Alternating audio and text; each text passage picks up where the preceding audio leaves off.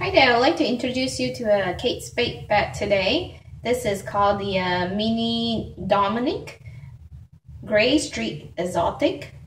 Um, and the uh, color here is called the, uh, let me see here, it's called the uh, Wine or more of a uh, magenta color.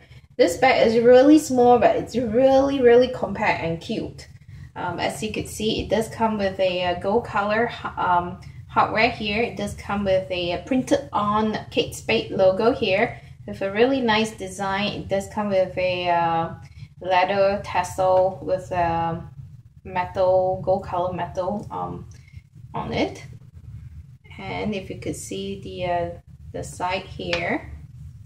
And the bag has a really nice interesting design and at the bottom so this bag and it does come with a, a strap for crossbody wear here.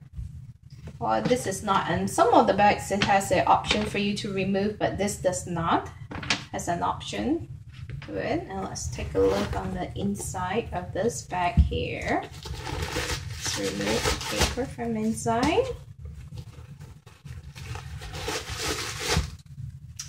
and on the inside is just basically one um, slip pocket, a tiny one, and one uh, major compartment. I'm just gonna bring this in, not sure if you could see that, and it comes with a really nice uh, linen lining on the inside.